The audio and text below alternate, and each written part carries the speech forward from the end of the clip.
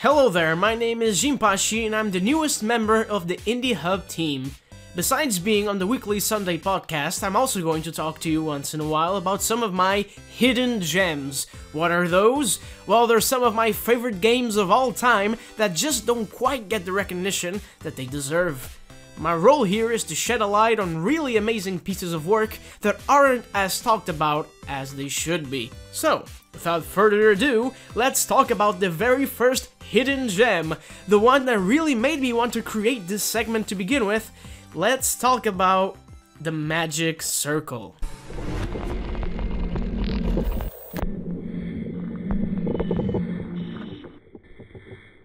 The Magic Circle is a 2015 video game developed and published by Question, an indie team composed by Stephen Alexander, Kain Shin, and Jordan Thomas. Those three little buddies have been involved in some other small projects like Bioshock and Dishonored, so you can see the talent is there. And the Magic Circle really is the work of great talent, although it was covered by a couple of YouTubers, that never really made a lasting impression on the public, which is a shame because it's hands down one of the best satires of the gaming industry that has ever been done. In the Magic Circle, we take control of a playtester who was recently hired to help prepare the live demo for a game that has been in development hell for nearly 20 years. And yes, it's called the Magic Circle, how did you guess? The two main developers of the game, the creator of the original, and his biggest fan who has become part of the creative team of the sequel, have entered into a bitter feud over the course of the game. Soon he realized that the Magic Circle is not much besides vaporware and not nearly close to a finished product, let alone a demo. After the two developers leave the playtester alone, an old AI that is literally a magic talking circle, points for subtlety there, requests the player's help.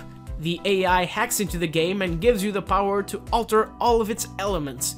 The goal here is simple you use the leftover assets and NPCs to hack your way into releasing the magic circle once and for all. Now, I think I don't need to tell you that this has a lot of meta commentary. In fact, that is the best part of the game. The plot goes above and beyond in terms of satire, nothing gets a free pass. Developers, greedy production companies, toxic fans, desperate streamers, and pretty much anything that has ever touched video games in its life gets mocked in a very, very unique way. A fundamental aspect of any satire is to make you laugh at the same time you realize everything about it is absolutely true. The Magic Circle does exactly that. The game was released in 2015, but the comedy is still fresh and accurate in 2020. In terms of gameplay, you can expect a decent amount of challenging puzzles. As I've said, you take control of the game's assets. Basically, you can gain different types of powers and then apply them to the various objects you interact with. You can make things sentient or brain dead. You can make them fly or protect you. Pretty much, you are programming the game to help you get through it. It is a concept that works like fine wine and it doesn't overstay its welcome.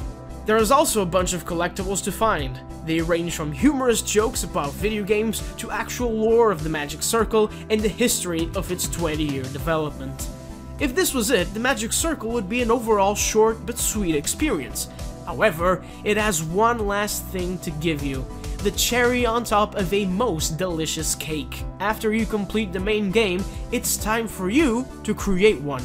That's right, using the very assets that you were programming before, you can design a game level.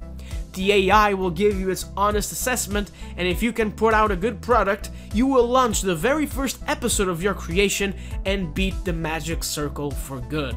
After that, you can go both back to the game world to grab the collectibles you've left behind, or redesign the game level as many times as you like it. It doesn't have too much replay value, but it's there if you want to mess around with it a bit more. That's what the Magic Circle is all about, messing around with video games. Clearly made by people who love the industry they are a part of, but still feel the frustrations that it creates, the folks of Question deserve all the praise in the world for their game. It is a cutting and precise parody that also works as a fun puzzle game. Every character has personality for days, and the concepts are all executed in the best way possible. One of the most unique indie games out there and a hidden gem you should, without a doubt, check out. The Magic Circle is available for PlayStation 4, Xbox One, and PC. If you enjoyed this video, leave a like and subscribe to catch more Indie Hub content. Don't forget to check out our weekly Sunday live streams. I've been Shimpashi, and I hope to see you next time. Happy gaming!